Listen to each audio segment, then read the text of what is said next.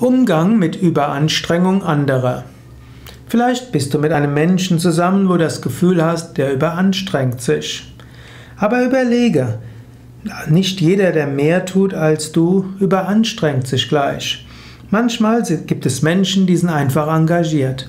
Wenn ihnen zu viele Menschen warnen und sagen, du kommst gleich in die Überanstrengung, dann kommen sie nicht wegen dem, was sie tun, in die Überanstrengung, sondern weil sie ständig gewarnt werden.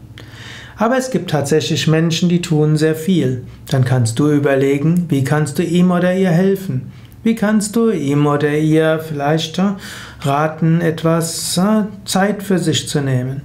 Vielleicht kannst du die eine oder andere Yoga-Übung empfehlen oder dem anderen sagen, er möge jetzt mal Feierabend machen. Und manchmal kannst du aber auch Menschen, die in der Überanstrengung sind, durch Wertschätzung helfen. Denn es ist nicht objektiv vorgegeben, wie viel oder wenig ein Mensch machen kann. Wenn ein Mensch Wertschätzung empfährt für das, was er tut, kann er auch mehr machen.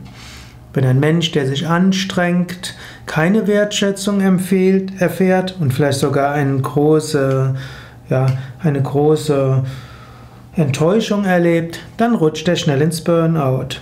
Daher, wenn du jemanden siehst, der sich stark anstrengt und du weißt nicht, was du ändern kannst, zeige ihm oder ihr die Wertschätzung. Dann wird er sich anstrengen und Kraft bekommen, vielleicht sogar über seine bisherigen Grenzen hinauswachsen und danach schaue, wann du ihm oder ihr helfen kannst, wieder etwas zu entspannen.